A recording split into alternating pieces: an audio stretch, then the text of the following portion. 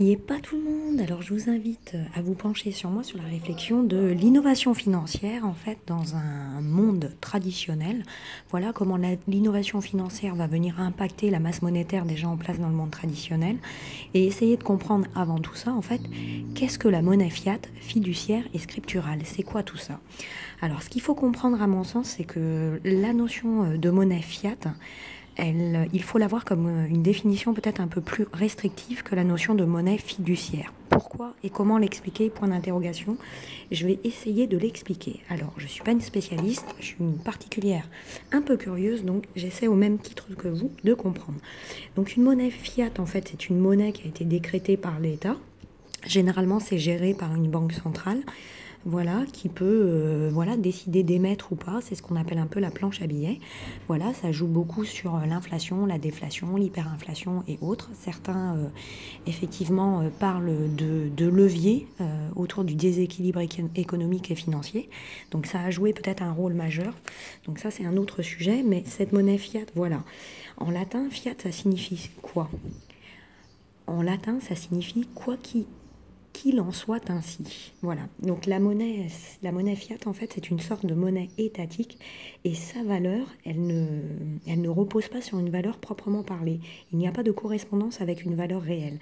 D'où la nécessité, en quelque sorte, de mettre en place en fait des cours pour renseigner sa valeur euh, au plus juste milieu, c'est-à-dire sur la base en fait de l'équilibre entre l'offre et la demande. C'est l'offre et la demande qui euh, qui vont, comment je dirais, qui vont influencer la valeur, justement par l'adoption et la confiance. Donc maintenant, ça c'était pour la monnaie fiat. Si on regarde la notion de monnaie fiduciaire, alors la monnaie fiduciaire, il faut savoir que ça représente à peu près un quart de la monnaie en circulation dans notre système, je dirais, financier traditionnel. Je dis bien système financier traditionnel parce qu'aujourd'hui, on a complètement une ouverture de ce système et à mon sens, la masse monétaire globale, enfin je dirais les moyens d'échange auxquels on attribue de la confiance sont en train euh, d'exploser. Donc pour revenir sur le système financier traditionnel, la notion de monnaie euh, fiduciaire, en fait, elle repose sur euh, la notion d'argent liquide, les billets, les pièces de monnaie. En anglais, en fait, le fiat monnaie, c'est la monnaie fiduciaire. Donc c'est une monnaie qui repose et qui dépend des institutions dites centralisées, les banques, les États. Voilà. À côté de ça, on entend souvent parler de la monnaie scripturale.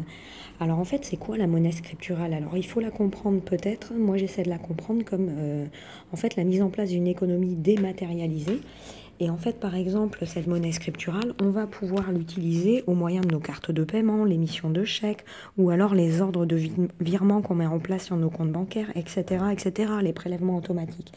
Donc c'est euh, vraiment euh, tout ce qui s'opère par euh, la mise en place d'une économie dématérialisée, et ça, ça représente les trois quarts de la monnaie. Voilà. Je dirais en circulation, mais cette fois-ci matérialisée. Donc, euh, pour conclure ce sujet, moi je dirais que en fait c'est euh, la notion de confiance qui va donner euh, la valeur à une monnaie. Voilà. Et moi je dirais que ce, qu'il faut retenir, c'est que la monnaie, en fait, même si elle est fiduciaire ou scripturale, eh ben, à mon sens, au jour d'aujourd'hui, elle représente une masse infime dans la possibilité de moyens d'échange financiers qu'on met à disposition. Pourquoi? Parce qu'avec l'innovation financière, le blockchain et euh, l'émergence en fait de crypto euh, majeurs et mineurs, eh ben on augmente la masse.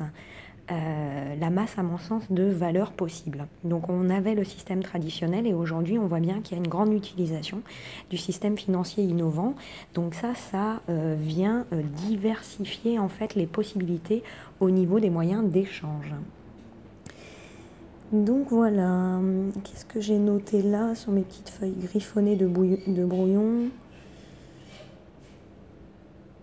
Donc voilà, ouais, on vient euh, au jour d'aujourd'hui par l'innovation financière, en fait, à mon sens, bouleverser euh, les euh, possibilités en fait de moyens d'échange qu'on avait à disposition. Donc je pense qu'il y avait les monnaies fiat, il y avait les monnaies fiduciaires, il y avait la monnaie scripturale, et maintenant, en fait, on a les monnaies alternatives.